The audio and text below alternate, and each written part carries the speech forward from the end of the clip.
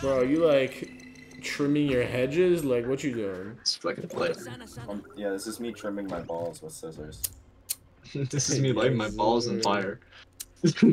That's how I shave my balls, actually. Bro, when I just, have, like, I when I just have- light off. I light.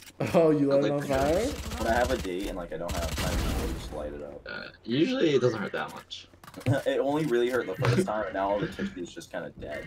As long as you can Ah, like, I see. you like, you like do it over the toilet. Oh yeah, dumb. You can dunk them pretty fast. Dumb. Yeah, I'm a. ver-